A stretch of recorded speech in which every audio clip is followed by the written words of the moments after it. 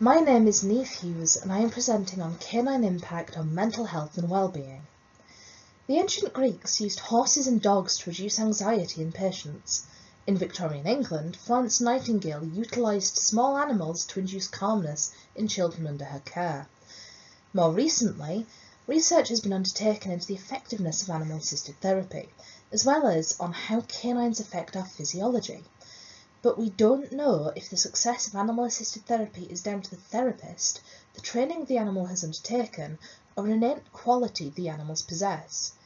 The research this presentation represents seeks to take the first step to answering that question. The first part of our research involved 420 volunteer participants completing a questionnaire on their feelings as dog owners and their perceptions on the effect dogs have on mental health and well-being. They were given statements to answer with a Likert scale. The available answers were strongly agree, agree, somewhat agree, neither agree nor disagree, somewhat disagree, disagree, and strongly disagree. From the left graph, we can see that 80.7% of participants strongly agreed to the statement, my life is improved by owning a dog whereas from the right graph we can see that 52.5% of participants strongly agreed with the statement my dog tries to make me feel better when I am sad. The top left graph shows that 55.8% of participants strongly disagreed to the statement my dog causes me a lot of distress. The top right graph shows that 32.9% strongly agree and 33.8% agree to the statement my dog knows what I am feeling. The bottom left graph shows that 78.2% of participants strongly disagree to the statement, my life has been made worse by owning a dog. The bottom right shows 80.7% strongly agree to the statement, my dog brings me a lot of joy.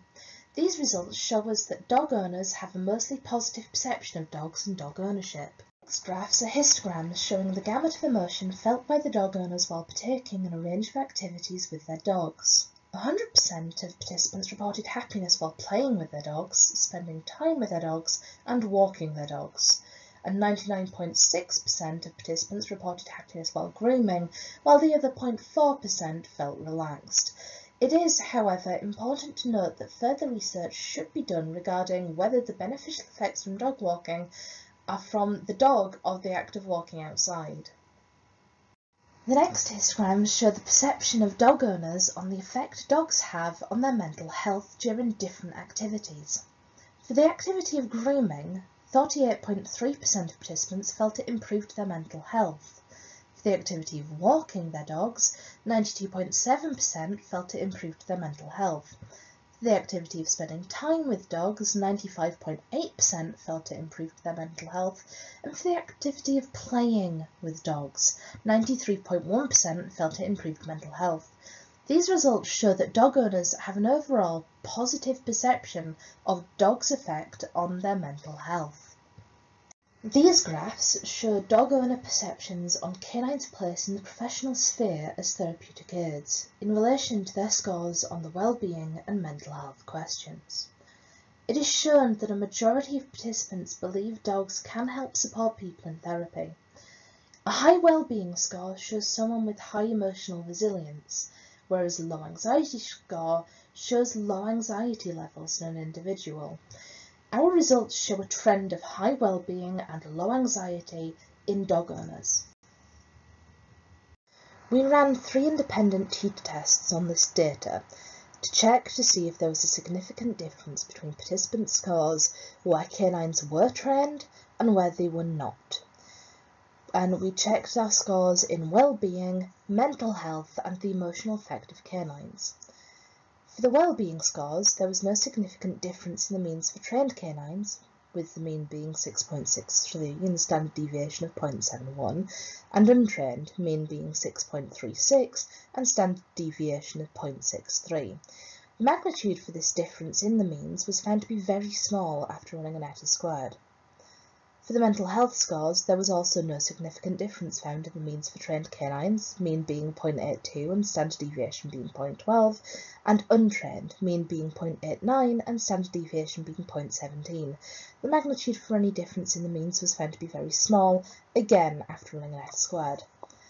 For the emotional effect scores, there was no significant difference in the means for trained canines, mean being 1.13 and standard deviation being 0.20, and untrained, mean being 1.21 and standard deviation being 0.22. The magnitude for the differences in this mean was also found to be very small after running a third eta squared. So what does this mean? For our sample, the fact that there was no difference between trained and untrained dogs leads us to believe that it's an innate effect of the animal itself. Dogs themselves have therapeutic value as opposed to the training. And this could affect how we go forward using animal assisted therapy and the training that is required for animal assisted therapy. Though this must be repeated as our sample size for trained canines was not as large as it should be to get better results. The participants were given a question asking whether they had any physical disabilities or mental health disorders. As can be seen in the word cloud to the right, depression, anxiety, GAD and panic disorders were reported as the most common disorders felt by our participants. The second part of our study involved 29 participants who agreed to undertake a questionnaire before and after intervention with their dogs. The questionnaire involved items taken from the current anxiety level measure and the PANAS, Positive and Negative Affect Scale. We asked the participants what activity they decided to undertake before doing the questionnaire for a second time.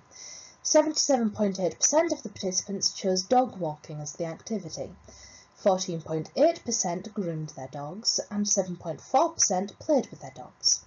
The mean time undertaken for the activity was 61.85 minutes, with the minimum time being 30 and the maximum time being 420 minutes. The graphs on the right show the levels of anxiety before and after interaction with a dog. For the before scores, there is a minimum of 16 and a maximum score of 74. This has a mean of 24.45. There is a Z skewness score of 5.80 and a Z kurtosis score of 9.51.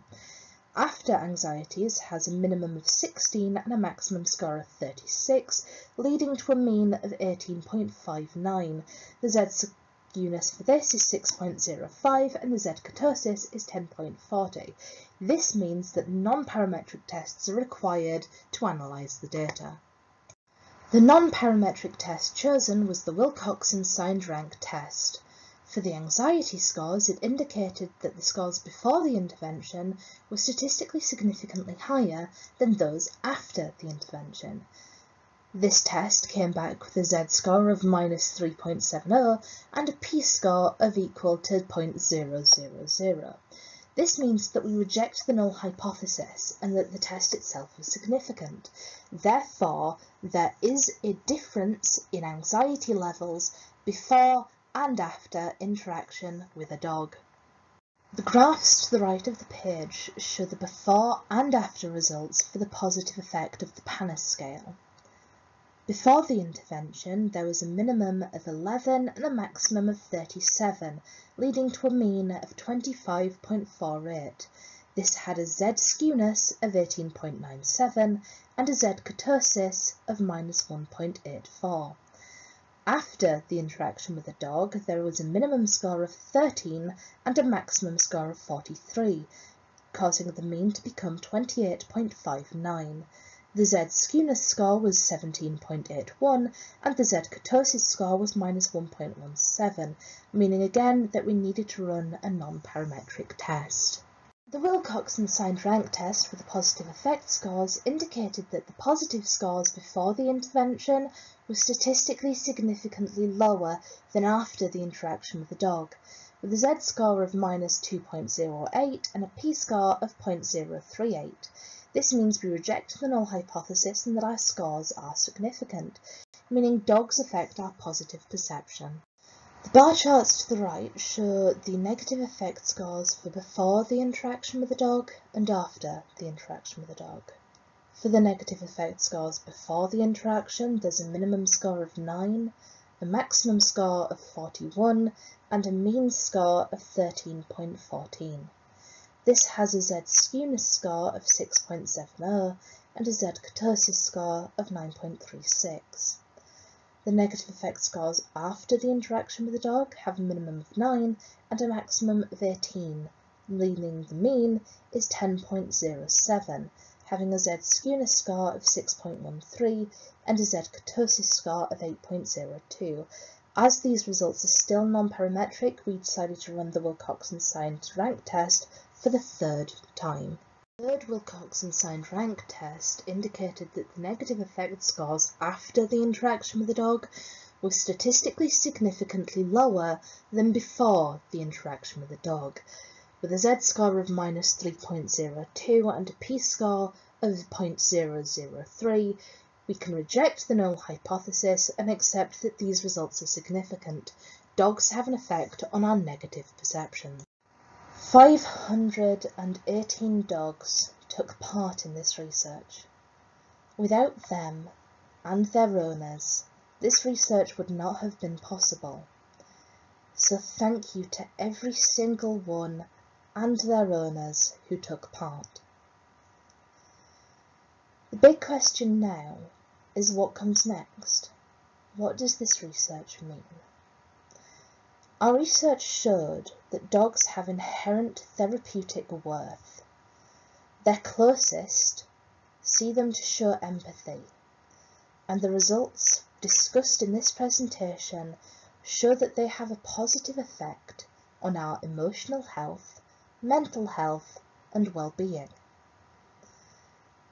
This could change the training that is currently undertaken to become a therapy animal, or it could affect the way that anxiety, loneliness or other conditions are treated.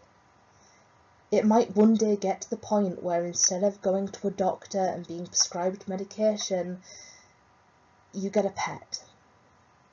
Although that is quite extreme and quite unlikely. More research needs to be undertaken as to the differences in trained and untrained dogs due to our limited trained population size. But the current results are very exciting. Thank you to everyone for listening and for keeping with me thus far. I hope you enjoyed this presentation as much as I have enjoyed researching this. The following slide includes all of my references that I have mentioned during this presentation and some of the research that helped make it happen. If you're interested, please feel free to stop and look. Thank you very much.